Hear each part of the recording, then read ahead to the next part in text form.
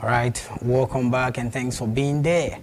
So, like I told you earlier before we went on the break, my guest is here.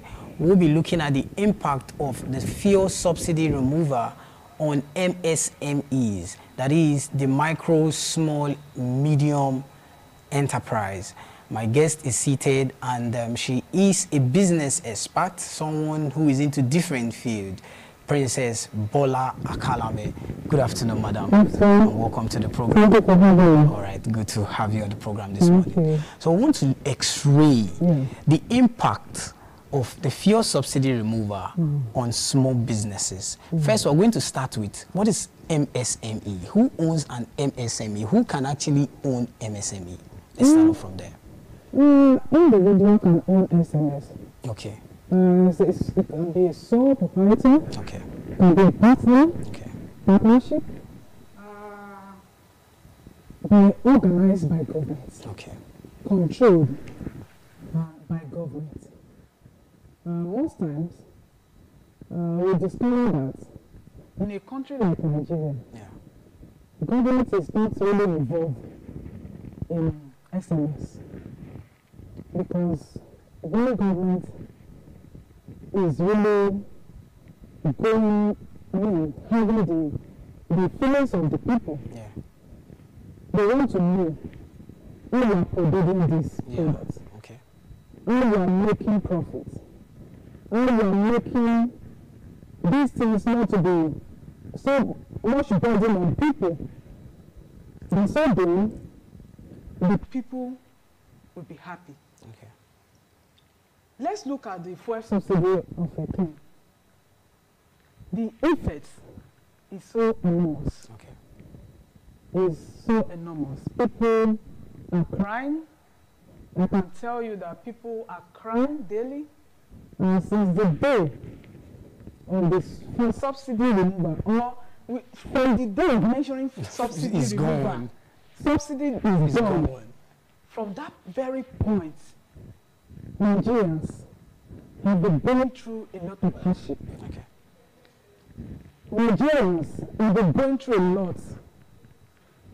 And the effects on SMS is so many. okay, A lot of businesses are going down. A lot of businesses are crumbling. And the effects on the government is going to be huge in the sense that when you have a lot of people going out of businesses, it will create unemployment. It will create insecurity in our country. okay, And these are the things we'll be fighting about. yeah, These are the things government will be fighting about. If we really want SMS to grow, SMEs. To grow in Nigeria, yeah, government needs to put things in place, okay, especially the area of transportation. Because when we produce uh, a product, and at the end of the day, you are transporting those products to a, a market. And at the end of the, the, the, the end use, the effects will be so much. For instance, you are bringing something from the farm. You bought it with a little of money, yeah, and at the end of the day, this transportation effect will make that product to be very expensive, expensive okay, when it gets to the market. yeah, So that is the problem we find ourselves in this country. okay, So business are not doing well at all. They are not doing well. okay. All right. Now we we we're talking about the MSMEs now. Yes. What will be the real negative impact on this petrol subsidy removal? Because, like you said earlier, a lot of persons are are passing through a whole lot. Of course. So we want to look at the business itself. Okay. What will be the real effect this will have on the business per se? Those that have the business. Yeah, like I said before, for now, people are selling necessity, these are necessity things that people we eat every day. Exactly. When you when you say something, we eat every day. Of course. The effects will not be much on those people. Okay. Um, you go to the market, you you buy insurance that you are going to sell, right? Luxury. People that are into luxury, Yeah. luxury that like um, are selling clothing, Okay. uh, you are into furniture, Okay. electronics, and all of that. The effect will be so much on those people Okay. because I, I, there, there's uh, I think some days ago I went to electronic uh, shop Sure. and I wanted to buy something and I priced it. The price was on high side, and the guy was begging me to buy, and I said no, I didn't have this amount of money to buy it. He was begging me that even sells since I mean for about two days now. He has not sold anything. He has not sold anything for two days Wow. and he's begging me to buy. So this fuel subsidy removal will affect those kind of businesses. Yeah. Businesses like electronics, furnitures, those luxuries uh, yeah. things. Yeah. But people that are selling necessity like yeah. food, Foods. you know, those people, the effect will be, I mean, a little, A little bit on them. on them. Because everybody needs to eat on See, daily basis. to eat on daily, Daily basis. basis. You understand? Even if it's not three square meals. Even though it's not, Nigerians are not even talking about three square meters Yeah. anymore. They are talking about even two or to one. one. At least to keep them going. Nigerians are suffering. Yeah. Uh, and I can still tell you there is a, a business owner is coming from Oluku Okay. to Ring Road Okay. every day. Every day.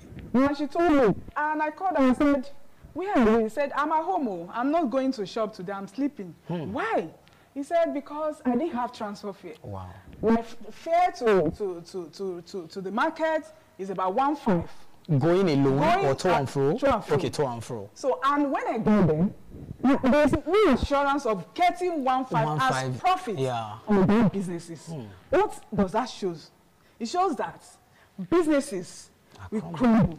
A lot of businesses will crumble in this uh, regime or, or Administration. This, this administration. of, I mean, first- removal- fuel subsidy. things are going I mean, going down and all of that. So, uh, the, the, what, what I look at it this way: a lot of businesses like uh, people that make clothes, Yeah.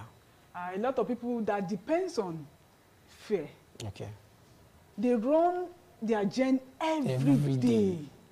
So by the time they look at the profit margin, they look at it this way: that look, what am I making from all of this? Crime rates will be so Will enormous. Increase.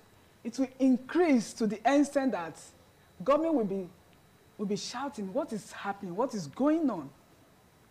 So governments need to look into all of this, Okay. and they're supposed to have put all of this in place Before, Before. the removal. And I, I was even thinking that before you can remove subsidy, you know, you should have put things in place. Our refinery Should be working. should be working. If not all, at least one. Or at least one or two. Okay. How, how can you remove fuel subsidy and at the end of the day, we don't, we, we, we are not refining any products. We have to still import We, we, down. we have to still import and all of that. So all of this fuel subsidy is uncalled for for me because Nigerians are suffering. And by the way, things are going higher Okay. and governments are increasing school fees. You know? I don't know if these people, when they get there, if they don't have the, the feelings of the people hmm. or they don't have what, what people are going through or they, they are not close to people that have going through a lot of things and all, a lot of stress. Because for me, I can't go into that government and take this kind of decision because I know the, the effects impact is going to have on the people. is going to have on the people. Okay. So, for me, I'm, I'm, I'm still thinking what is going on in this country. Okay. Now, do business owner today, they still need to remain in business. Yes, No matter what, whether fuel subsidy is removed or, Or is not, not, removed, yeah. they still have to remain in business because without these little small business owners, I don't think life will be comfortable for us. And I, I, can, I can tell you that small scale businesses yeah. contribute 49% of our GDP. Our GDP. That's true. So if government is looking into all of this, that look, we're supposed to have something like loan Yeah. to give to these people. Okay. you know, uh, with, without interest. Interest. We- I'm not even talking about low interest now. Without interest. Interest-free loans. Interest-free loan. Okay. You know, oh, we are giving you one million naira. At the end of one year, you should at least you should know what you. You, the profit you've made out of it, then you bring, you bring our money back and take your you know, uh, profit. Life will be so good. Okay. It'll be so easy for Nigeria. But don't you think um, uh, Bank of the, the Bank of Agriculture, yeah. the Bank of Industry, they are doing this? Ah, Because that is the reason why they the, established the those issue, banks. the is that we've been, we've been heard, we, we've been seeing it on TV, Okay. we, we read it on newspaper, but the, we, we've not seen the, the reality The reality of it all. of it all. Okay. You know, getting to market women, Okay. you know, we, we, are, we, we heard that, oh, government release what, 10 billion, hmm. 5 billion for market women, you know, for small scale businesses and all of that. But we, are, we, we, we communicate with these market women every day. There is no place Yeah. that you heard that governments have given us 100,000 each oh, to, you know, to, to, to boost our businesses and all of that. But the, the, the last administration did Yes. something related to that when we heard of the whole TraderMoni thing that was um, The problem is that some individual are, are, are taking this money and hijacking You actually money. think so? I'm telling you. Okay. Meanwhile, they will bring they will bring out a list or a name that oh we've given uh, thousands of women or thousands of business uh, uh, owners, Owners. and all of that. Yeah. And at the end of the the reality is on ground. We are not seeing anything. okay. You don't go to each market or go to to to I mean rea, rela, re, re, retaliate with those those businesses. Yeah, have owners. good interaction with the business interaction you owners. know talk to them and ask them if they have heard or getting one naira from from government you know nothing but we heard it we we read it on newspaper and everywhere that government is dishing out money or Hmm. bringing out money for all of this but the reality is not on ground Okay. that is the problem we are having in this country Okay. Now, with the reality of today's Nigeria Yes. now, where everything is skyrocketing, Yeah. prices of goods are going, Going up, up. interest rate is going up, you can't even access the naira, naira to the dollar, the price, the exchange rate is going up. high. Now, what can owners of MSME do today to remain in business? Business. Because take it or leave it, we need them out there. Of course Without them, I don't think life will be comfortable. There's this ease you have when you open your gate, you just come out, there's a woman selling something in front of you. like, "Ah, I want to buy this thing oh," at ease without you even going to Yes. the market, like the real market per se. You just get it and get what you want to, to, to eat and prepare at home. What do you think these business owners can really do to stay in business in this challenging and trying economy that we are facing today, especially with the fuel subsidy removal? first of all you have to you have to tell yourself you have to be confident in yourself Okay. first of all you there is this inner conviction Yeah. that i think no matter what happens Okay. i'm going to skate through Okay. you know you don't have to have this discouragement like oh like i said before Yeah. i called a woman and said this uncertainty that if i go to the market what will happen i may not get any money Yes, to to go back, go back you know, home all and those all that. uncertainty and all of certainties. that you have to tell yourself the truth you have to be bold enough Okay. be positive Yeah. that that business i'm going to today mm. my workshop that i'm going to do i'm going to make money i'm going to Absolutely. you know first of all that is the first thing. Yeah, you have to have a positive mindset, mindset before leaving the leaving house. the house so from from there because things will increase. Oh, absolutely, things will always increase. increase you know, always. always even with or without fuel subsidy removal, exactly. to increase. And by so doing as things are increasing you are also increasing your thing. It's not even by you. But at the end of the day, it's having side effect on the common man on the that street. is that is the issue.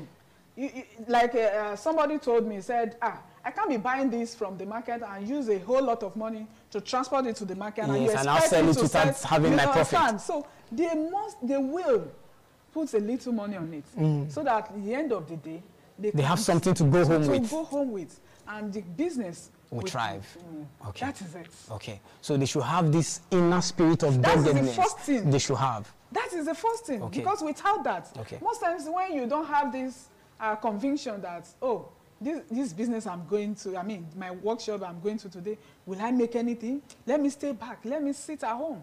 You know? Yeah. By so doing, you are discouraging yourself. True. So you have to encourage yourself first. Hmm. Going to that business. Like encouraging yourself in the Lord according to the Bible. Yeah, you have to encourage yourself and say, oh, I'm going to my, I know I will make it today, Okay. right? So when you get there, Yeah. you, you, you, you buy and you sell. Yeah. It's, you have to add a little money to it and, you know, by so doing, you are moving. Okay. It's just that the businesses will slow. okay. We have to tell ourselves the truth. And a lot of, since the first subsidy removal, businesses have been slow. Slowing down. I'm telling that's, you. That's the truth. A You lot of businesses. Sometimes you, you, you go and meet somebody in the shop, you say, ah, you are not here, what happened? Eh, I can't come today because I don't even have transport, Transport fare fare to come. to the market or Yeah. to my workshop. So you expel all of that. True. So, and I will, I will advise again to those people thinking of the kind of businesses they, They want to want go to into. do.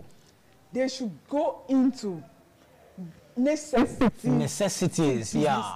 Bus- business that Everyday everyday needs. Everyday needs. you know, and Yes. all of that. Absolutely. Don't go into a businesses that like are luxury, hmm. businesses that you feel that in a month you may not. You even never sell anything. You know, True. So go into businesses that you know that each day you are making You're something. making something, So no matter how it. little it is. No matter how little it is, so that you'll be encouraged. Okay. Because when you are not encouraged, when you are doing business and you are not feeling encouraged, my dear, uh, the next month you won't come to that show or to that, you know, to do that business. All right. You know. Okay. That is it. So as we're winding down, now let's look at what the government can do to assist business owners, those owners of MSMEs, Yes. whether the federal government, the state government, the local government, or possibly some NGOs. Yes. What can they really do in order to assist these business owners for them to remain in business? Uh, first of all, uh, there's, when we talked about a lot businesses, Yeah.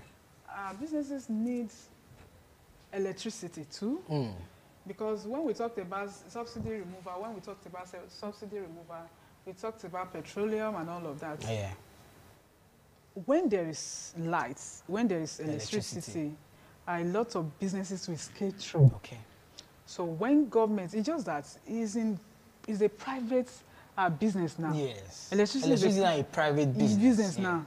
Just that we just encourage government to look into that electricity issue and talk to the, the, the, the, the manager or whatever to make sure that we have electricity. So when there is electricity, uh, bus- some businesses will skate through. A lot of businesses in Nigeria will skate through. And another thing is this loan of a thing. Okay. When government wake up and say, look, I think uh, 50% or 60% of business owners, we are going to elevate them with some little loans. Okay. It will alleviate uh, the suffering of these people. Okay. You understand? Okay. So, an enabling environment Okay. is very key. Enabling environment, when we have insecurity free, when we have insecurity free, it's Where people can run their businesses, businesses without being without scared fear, of anything. without fear, uh, you know. And another thing, road infrastructure Mm. is very key Okay. because these goods we are talking about, it's moved from one place To another. to another. I can I can tell you there are some products like tomatoes Yeah, from, the, north. down They are so the cheap. Yeah. They are so cheap in the north. But coming down to this place, they will tell you that it's not only because of diesel, Yes. but the, The roads roads are are bad. That is the problem we are facing. So by so doing, where uh, a 10 trailers of tomatoes supposed to be in Benin, we are seeing five of them. so those people can marginalize those products Yeah. and say, look, we have five or four uh, trailer, so we can sell it any amount of money we want to they sell will it. not be the one determining Determine the the price. price of those goods. So by so doing, it, the And, and- effect and also the distance, some of the, the, the, the tomatoes might have gotten spoiled. the time they will take on the road. When you when you pass through the road, Yeah. especially this, This uh, Benin, Abuja, Abuja Lokoja, road, those people will tell you what they are passing, Passing through. through. Their product will go spoiled and all of that. So you can imagine the economic Impact, it will impact have. it will have on these people. Yeah. So when we have a good road, you know, we have security. Because I can still tell you that a lot of people, a lot of our farmers, they don't longer go into the To farm, farm. just because Of insecurity insecurity. issues. They are afraid. And that is why you see farm produce are so expensive these days. Absolutely. Something you can get from within a distance of 100 kilometer, you discover that it's very expensive just because of insecurity. Nobody wants to go to the farm, farm anymore. anymore. So that is the problem we are facing. So if all of these are in place, my dear, Nigeria will be a better place and business owner will be smiling to the bank. Okay.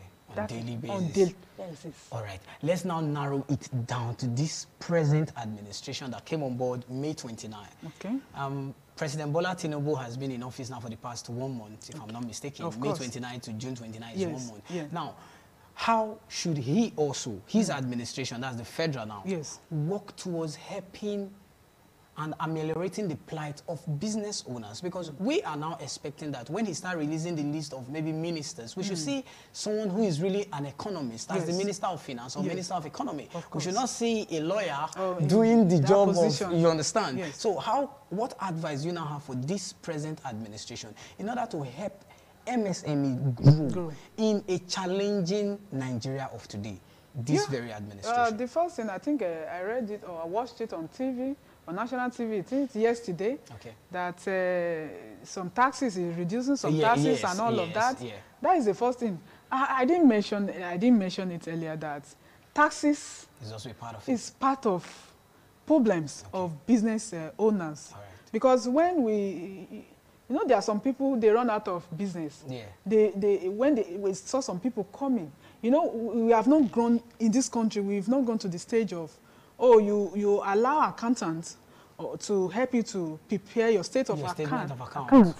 so you, see individual just oh i made this oh look at the amount i'm going to uh, pay and all of that so a lot of people are still running away from all of this when uh, local governments uh, tax revenue tax revenue tax collector comes. they will come they will just write, Write any amount of money give to you. to give you I mean, I mean this is the amount you are going to, To pay. pay. State will come and say this is the amount you are going going to pay. pay. because you don't have statements of accounts you understand so that really affects a lot of businesses and because of ignorance and that is the reason why some people cannot i mean prepare a statement of accounts so when we remove